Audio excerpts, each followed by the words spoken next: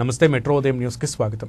నవభారత నిర్మాత doctor BR Ambedkar జయంతిని పురస్కరించుకుని ఇబ్రహీంపట్నం నియోజకవర్గంలోని అబ్దుల్లాపూర్మెట్ మండలంలో గుంతపల్లి గ్రామ పంచాయతీ సర్పంచ్ కరమైల వెంకటేష్ ఆధ్వర్యంలో గల అంబేద్కర్ విగ్రహాలకు పూలమాలలు వేసి నివాళులర్పించారు ముఖ్య అతిథికి గ్రామ సర్పంచ్ కరిమల వెంకటేష్.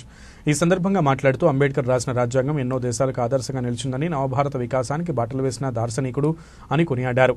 బలహీన వర్గాల హక్కులకు ఎలాంటి అవరోధాలు కలగకూడదనే ఉద్దేశంతో వారికి ఖచ్చితమైన భరోసాని భవిష్యత్తుని ఇచ్చేలా రాజ్యాంగాన్ని రూపొందించిన మహనీయులు బాబాసాహెబ్ అంబేద్కర్ అని కొనియాడారు. ఈ కార్యక్రమంలో నాయకులు కార్యకర్తలు మహిళలు పాల్గొన్నారు.